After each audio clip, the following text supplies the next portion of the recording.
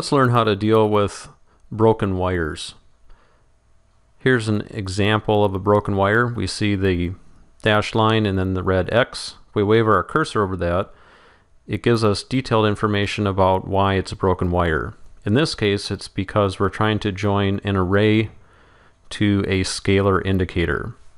We can also use the context help to uh, give us some more information there as well.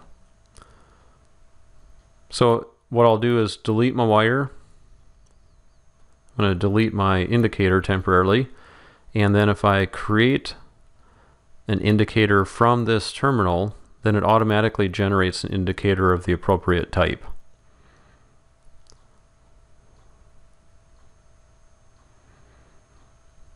Again, in this case, that correct type is an array. If I turned off indexing, then we're back to a scalar output from the for loop, and so we have an inconsistent uh, match between the terminal and the indicator terminal. So again, similarly, we can delete it and start over with the appropriate type of terminal.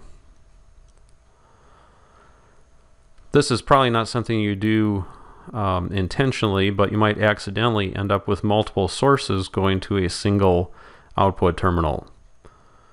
Now this generates a number of broken wires, but actually it's only this one that's causing us the problem. So I can delete that segment.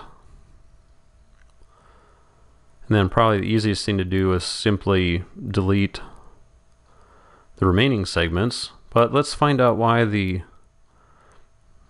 or I'm sorry, we, we see that the uh, run arrow is still broken at this point.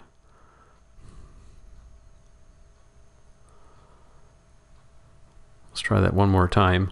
If I do a uh, delete on the entire wire, well, uh, we lose a lot of other wires as well. So again, just a little bit of uh, effort to troubleshoot why that broken arrow is there is helpful. So actually the broken run arrow is due to the fact that our for loop does not yet have a number of times that it's supposed to run. So I'll take care of that here.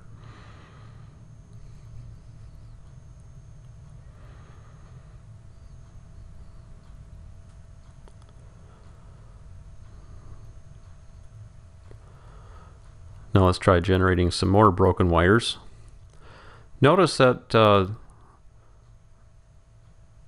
in this case, uh, the, the constant doesn't seem to have a problem with the dangling output terminal.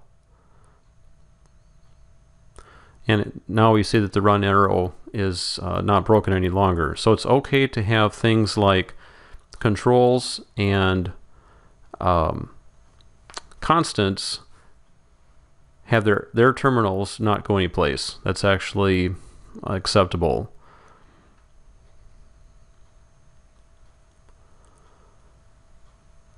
Place where we can run into troubles though is if we have something like an unconnected output terminal and that will will need to be resolved first.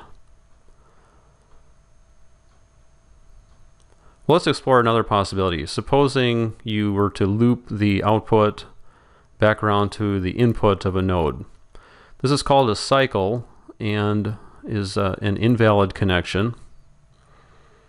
Now interestingly enough though, if we do this inside the for loop,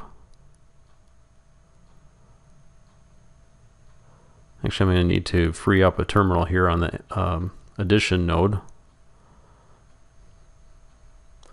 If I intentionally wire a feedback path like this, then LabVIEW automatically inserts what's called the feedback node, and that's that arrow structure that we see there.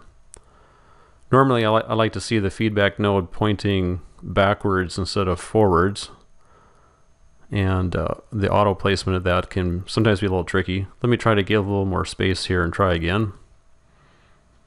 Oh, it's still not going to work. Well, um, that'd be something for you to explore on your own a little bit. It uh, you can try to influence how that feedback node shows up a little bit. All right, that's broken wires.